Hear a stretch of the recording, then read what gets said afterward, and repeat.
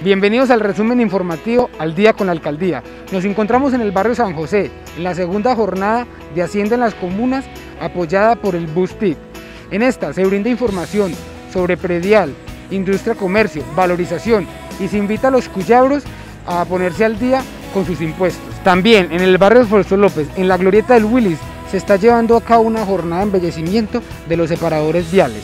Esto con el apoyo de la Secretaría de Desarrollo Social y su programa con el albergue temporal de Cenexpo, donde tres exhabitantes de la calle ahora son jardineros del municipio. Se vio una opción de poderlos vincular y además porque pertenecían a un proyecto de huerta que tenemos en Cenexpo.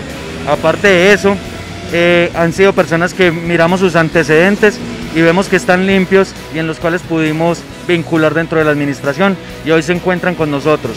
Este proyecto va a poder abarcar a más personas que han vivido en la calle y que quieren salir adelante. Yo le doy gracias al alcalde, al, doctor José Manuel Ríos, de mi parte y de parte de mis compañeros. Vamos a dar todo lo posible y le vamos a demostrar a todos ustedes con el trabajo, con una nueva vida. Estas y más noticias en nuestro avance informativo.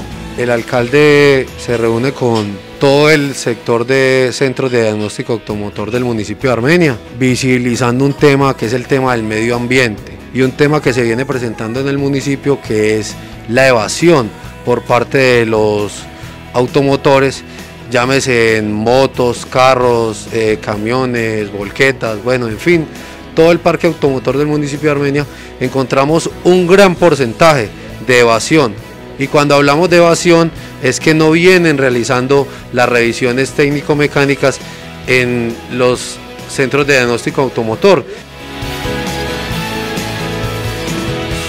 Esto fue nuestro avance informativo de fin de semana.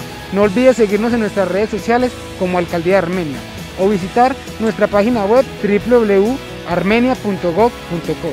Porque Armenia es para todos.